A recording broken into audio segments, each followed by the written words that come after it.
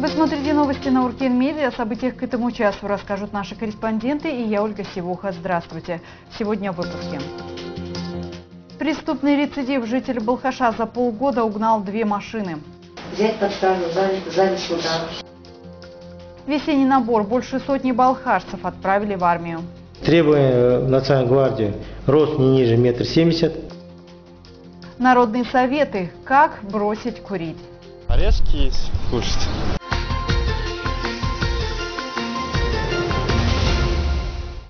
Житель Балхаша угнал две машины за полгода. За первое преступление мужчина получил ограничение свободы. Сегодня суд сменил наказание на реальный срок. Особенно я вам разъясню ваши права и обязанности, предусмотренные Уголовным процессуальным кодексом. На скамье подсудимых сегодня 22-летний балхашец. За последние полгода перед судом он предстал второй раз. В ноябре 2017-го его судили за угон машины. Тогда парень получил ограничение свободы на два с половиной года. В течение этого срока он должен был отмечаться в службе пробации и не покидать пределы города, также не нарушать закон. Однако молодой человек за несколько месяцев не один раз был задержан в нетрезвом виде, получил шесть предупреждений от правоохранителей, а в марте этого года снова угнал машину машину. Полицейские отправили дело в суд. За все нарушения суд оставшийся срок ограничения свободы два года и один месяц заменил на реальный срок в учреждении средней безопасности. Избрать в отношении меру пресечения в виде содержания под стражей, взять под стражу в зале суда.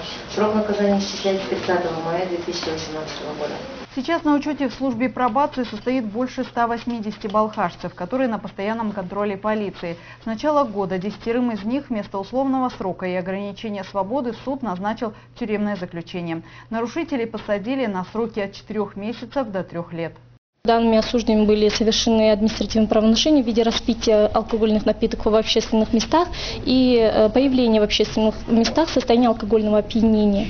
А, также осужденными были совершены повторные преступления. Больше сотни балхашцев отправили в армию. По итогам весеннего призыва негодными к службе оказались меньше 10% призывников. Этой весной повестки в армию получили 1200 балхашцев. Больше тысячи уже прошли медкомиссию. Среди них 8 86 человек не прошли на службу. Из тех, кто годен, 115 человек уже отправили отдавать долг родине. Остальные получили отсрочку по состоянию здоровья, по семейным обстоятельствам и на время учебы. Больше 60 призывников отправили в Министерство обороны. Еще двое попали в государственную охрану. Девять балхашцев пополнили ряды Нацгвардии. Туда же в ближайшее время отправят еще больше 50 человек. Требуя в Национальной гвардии рост не ниже метр семьдесят, 170 сантиметров, затем не имеешь судимость, образование не ниже среднего или среднеспециального, э, и чтобы близкие родственники не, не были также судимыми, потому что части режимные, охрана общественного порядка. В Балхаше почтили память жертв политических репрессий. Молодежь города посвятила жертвам трагических лет минуту молчания и возложила цветы к монументу Сакина Сифулина. Жертвами репрессий в 30-е годы стали больше 4 миллионов человек. Около 500 тысяч были расстреляны, остальные осуждены на длительные сроки. Среди арестантов были представители разных слоев населения, общественники, государственные служащие и деятели искусства. Попал в их число и Шакин Сейфулин, чье имя сейчас носит школа-гимназия номер 7. Школьники почтили память великого казахского писателя и прочитали строки из его произведений. Сакен Сейфулин тоже попал под политические репрессии. Это было несправедливо. Я считаю, что его действия в те времена были не напрасны, ведь мы сейчас живем в независимой стране, как он и мечтал. А в городском музее в память трагических событий прошлых лет проходит выставка. На экспозиции представлены списки заключенных, остатки Балхашлага и вещи незаконно осужденных людей. Подробности в материале Ахмарал Хасиной. Кирпичи и оконные решетки Балхашлага – немые свидетели трагических лет. За 20 лет лагерь прошли 10 тысяч заключенных, депортированных с разных уголков Советского Союза. В Балхашском музее сохранились списки арестантов, сотни фамилий людей разных национальностей и профессий, деятели искусств, госслужащие и активисты. Часть из них были расстреляны как враги народа, в том числе 47 балхашцев.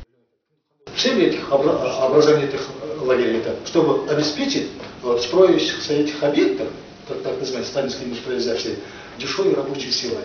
Даже в то страшное время в условиях лагеря люди не теряли тягу к прекрасному. Среди музейных экспонатов скрипка, которая принадлежала литовцу. Гармонь осталась от заключенного чеченца. Арнайы еңбек лагерьлерін ұйымдастыру Скрипка и гармония осталась как память о заключенных Балхашлага. В те годы свободное от работы время заключенные могли проводить культурные мероприятия, играли на инструментах, кто-то рисовал. Это фотографии незаконно арестованных балхашцев. Начальника строительства балхашского комбината Василия Иванова арестовали в 1937 году за антисоветскую деятельность. В 1938 году его вместе с командой строителей расстреляли. Только в июне 1956 года имя Василия Иванова было реабилитировано посмертно. Оның командасы өйткені бұл да істеген ивановтың командасы В те времена под расстрел попадали целые команды арестованных людей. Среди них и команда Василия Иванова. Вместе с ним в 1938 годы расстреляли и людей в его подчинении. Такие были правила в период репрессий. Посмотреть на экспонаты своими глазами можно с 10 утра в городском музее. Выставка продлится до 3 июня. Акмарал Хасин и Серик Кисибаев, Уркин Медиа.